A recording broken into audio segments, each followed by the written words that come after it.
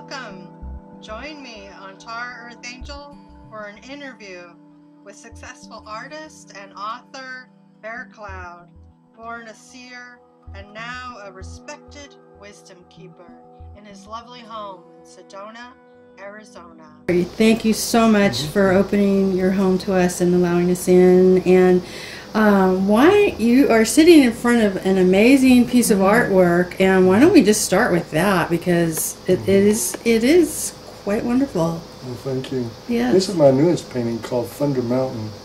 It came to me after a series of visions that I had over the past four years, actually, as the economy and everything was going through its hoops and whatnot. I kept seeing this windstorms blowing through everything and kind of uh, turning things a little upside down and backwards through the past few years.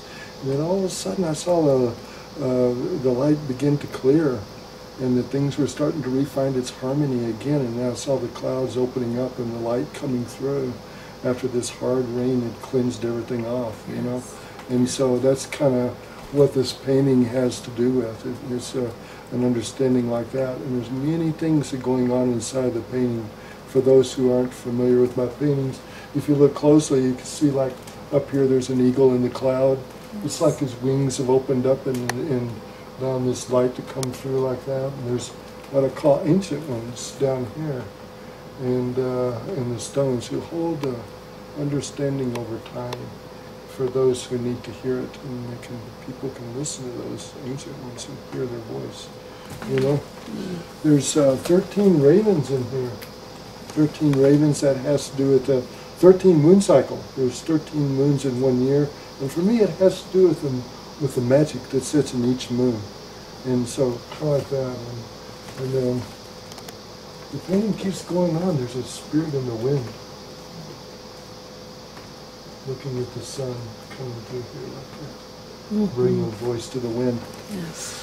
Yeah. So, um, but I feel like it uh, was a magical painting for me. So. Definitely. And I think we can all relate to those times in our lives when it's dark and stormy and we're hoping the sun's coming. Yeah, yeah. Yeah, yeah. Kind of expresses that understanding. Yes. It's it's got a, a hidden message in it. I don't know if you can see it in your camera or not, but the, the square of the canvas, you see that there's uh almost like a, a circle that, that's created as it goes around like this. Yes. Almost to the corners of the canvas, the edge of the canvas, all the way around. It's kind of a very subtle circle. It is. Okay. Yes. That's a very ancient symbol that you can find in pictographs that goes way back. And uh, I've found it uh, go back as six, seven thousand years. And, it, and, it's, and one way to understand that symbol is inner harmony.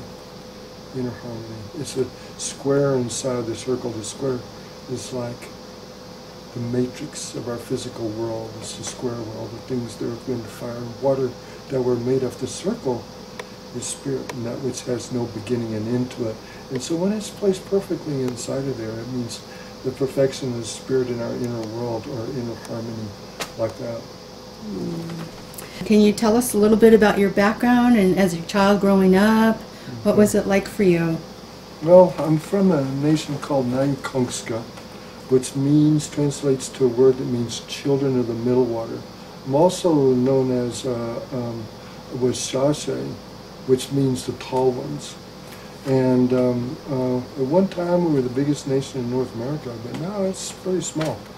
But um, uh, but you know, I grew up on the res, and and um, when I was old enough to go to school, I ended up going to Caucasian school, which is very different. And so um, uh, when I got out of that, I began to do my ceremonies again. I followed as I went along, but I, I, I began to do my ceremonies and, and follow the ways and the traditions, and my painting got stronger into that. And then uh, I reached a point to where all my ceremonies, my paintings were evolving out of all the ceremonies I was doing, and that's what you see now. So, yeah. And, and where where was this that you grew up? Uh, Nyankongska, Oklahoma, and and well, I went to school in uh, Emerald, Texas. And Oh. so, mhm. and and but what are you going to do? So Yeah. you know, and so but uh, uh, once I once I uh, uh, was able to find my way through all that, then then uh, uh, I, I headed to the mountains. That's where I really wanted to be, and Yeah. and that's where I started following my really started following my traditions. I've gone up and to some uh, relatives in some caves in New Mexico, and we we're doing ceremony up in some high caves and things like that. And So has spirit always been very strong with you your whole life? You know, it, it goes through phases and steps. Okay, Yes. I'm on a path. I've been on a path. I was born a vision seeker, a seer. That is part of my mission in life, and that came with me since I was born. I was five years old. I was drawing and bringing images forward, and you know that I was seeing in my visions and whatnot. But it had still had like a seven or eight or nine year old mentality to it. You know, thirteen and all that. I painted, but you know, when I was 13, but it, you know, it isn't like this. It Mhm. was like 13, you know, Right. and, but it had a different doorway to it. It had a different way because I was pulling in things of spirit even at that time, and uh, you know, and I was trying to do more of that even when I was small. So, anyway, so Mhm. yeah, um, So tell me about when your your artistry started. Did it, you said it, from a young child, yeah, actually. For when I was drawn five when I was five, there's three mountains that impacted me very deeply. That that began when I was five years old, and and so maybe sooner, you know, I'm sure, but I was drawing them all, all the time. I remember I was at these three mountains, and I painted them when I was old enough to paint, and um, and it was somewhere much later after I had gotten out of school that I went on a tour of Arizona and went over the top of the mountain. There were some three mountains that I had, had me in vision for my lifetime. And uh, it was a very magical event at that time, and some things happened in, in, in, at that moment that was magical for me, you know, and uh, it's quite a story. It's how I begin my book, Seven Fires, and it's uh, it becomes like an eight-year transition actually from that point, but Ah. very special. So now you're you mentioned Seven Fires. Can you tell us a little more about the book? What is what is the basis of your book? My book, Seven Fires, um, spun out of, it, it, it was a couple of different directions that, that that book became important. You know, one of the things that uh, I was noticing is that I had become involved in the crop circles in England back in 1998. And there was some absolutely magical things that were appearing on this planet in those fields. I could look into them and I could see, and I knew what was inside of those things. And I could tell that there was something far more than what a lot of people were really uh, understanding what was going on in there. And I had the ability to look into them and see, and I began illustrating them out, and everybody was just fascinated by what was hidden inside of them. One, one I found over 52 symbols inside of it. You know, it's like a book of spiritual knowledge. It was the first one I ever walked inside of, and I illustrated out and showed it geometrically why it all existed. You know, and it was very, very special. And um, as time went along, there was a few of those that, that appeared. There was a really strong question as to where that really came from, because these messages that were in here were of such an order that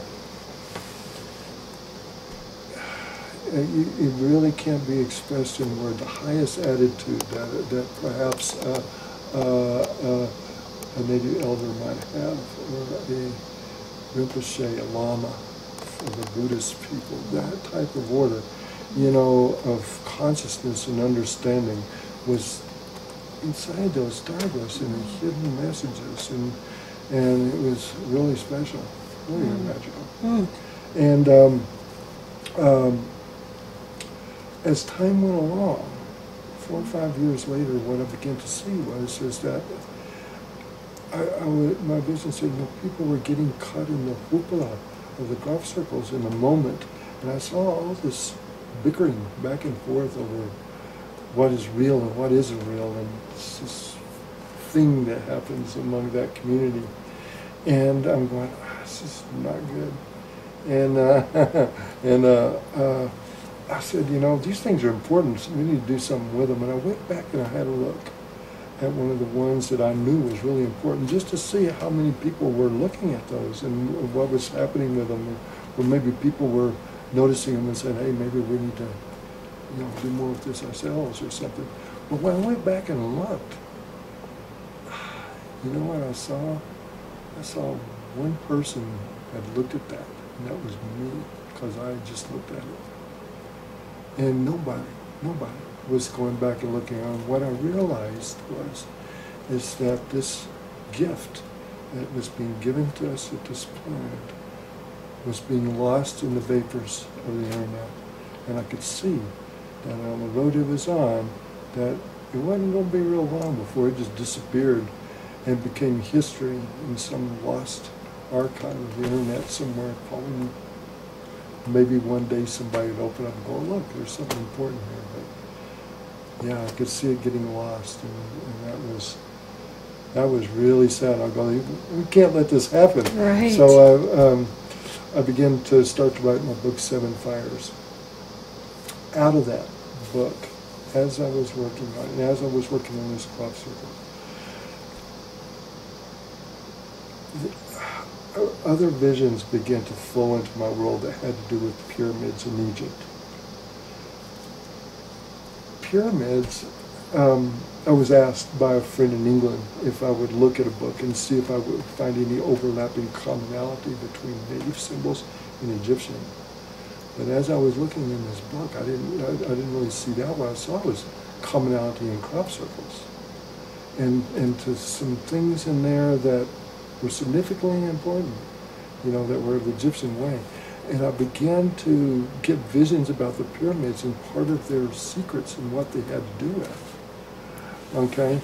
And so I began mapping that out on paper to show people what this had to do with. Now, I never had an interest in Egypt. It's just that I'm a seer and vision seeker. And when that started crossing my path, I honored that vision and, and I had to open up those doors and let that flow in. And for 10 years after that, I was given some very magical visions about why the pyramids were created the way they were.